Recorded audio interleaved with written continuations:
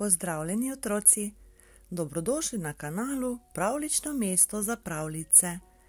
Danes bomo prebrali iz knjige Moj prijatelj Piki Jakob zgodbo z naslovom Francoska solata. Imeli smo goste in učiteljeva mama je pripravljala razne imenitne jedi. Takih jedi ne jemo vsak dan in zato je učitelj do njih nezaupljiv. Kot pravi kuhel mulc, se je sukal po kuhinji in opazoval mamo, ki je rezala kumarice, krompir, korenček, zeleno in kolerabo. Vse te stvari jemo ponavadi vsako posebej in nekatere od njih je tudi učitelj. A mama jih je pomešala ter jim dodala še gorčico in majonezo. Tako da je nastala čudna godlja, ki ji pravimo francoska solata.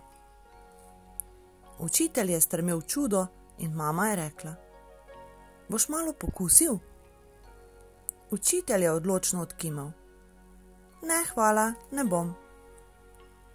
Samo malo pokusi, je rekla mama. Samo eno žličko. Učitelj je odgovoril: Take čudne jedi mi niso všeč, ne maram jih. Mama je ustrajala: Moraš se navaditi tudi na nove jedi. Učitelj je bil drugačnega mnenja in je ponovil: Ne bom. Mama ni popustila. Samo eno žličko, saj ni strup.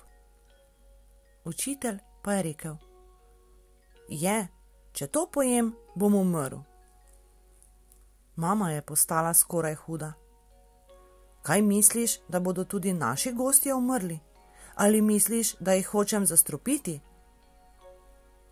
Učitelj je skomignil z rameni. Ne vem, mogoče pa.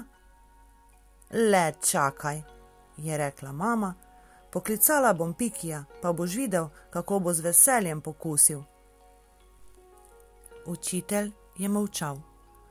Mama je vzela Pikija z police in ga vprašala: Piki, ali hočeš malo francoske solate? Piki je pokimal. No, ali vidiš? je rekla mama učitelju, ta pa je kar molčal. Mama je zajela žličko francoske solate in jo podržala pred Pikijevim gobčkom. Medvedek se ni ganil. Vidiš, tudi Pikije ne mara, je zmagoslavno rekel učitelj. Tedaj pa se je zgodil čudež. Plišasti medvedek je odprl gobček in žličke polizal francosko solato. Boš še piki? je vprašala mama in piki je pokimal. Tako je pojedel še drugo, tretjo in četrto žlico. Potem pa se je lepo obliznil in se priklonil, kar je pomenilo: Hvala. Si videl? je rekla mama učitelju. Pa, je rekel učitelj, jasno, Piki je francos, parižan. Tam vsi žužuji jejo francosko solato, saj mi je pravil. Jaz pa nisem žužu, ampak medvedji učitelj. Si že slišala, da bi kdaj kak medvedji učitelj jedel francosko solato? Mama tega še ni slišala in tako je ostal učitelj pri svojem. Piki pa je zadovoljen sedel na polici in vse je kazalo, da zaradi francoske solate ne bo umrl.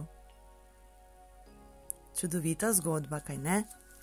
Dragi otroci, v kanalu Pravlično mesto za pravljice imate še mnogo zgodb, ki jih je napisal Kajetan Kovič iz, iz knjige Moj prijatelj Piki Jakob.